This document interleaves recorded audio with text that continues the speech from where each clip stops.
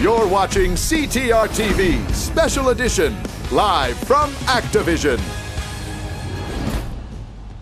I'm your host, Chick Gizzard Lips. And I'm Stew. What a great time to tune up and tune in to CTR TV, race fans. Stew, let's get the racers out there up to speed. Rev your engines, pop your clutches, and clutch your poppers while we tell you all about the Grand Prix. Now, each Grand Prix is a super event where contestants can test their mettle in a series of electrifying challenges. Woo! I love being a good challenge, which also includes being a challenge to work with.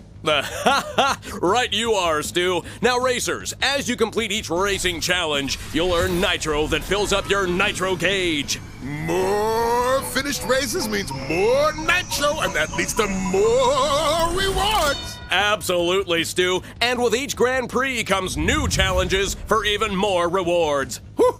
There could be hot new racers, smooth new rides, and so many ways to deck them all out. Absolutely flapping with anticipation there, chick. I too feel that emotion, Stew. Now, in addition to earning insane rewards in the Grand Prix, you can also find other unique items like this in the pit stop. Anything else they need to know there, Stew? Well, according to the script I was told to read, each Grand Prix will introduce a brand new racetrack. That about what you had in mind there, chick?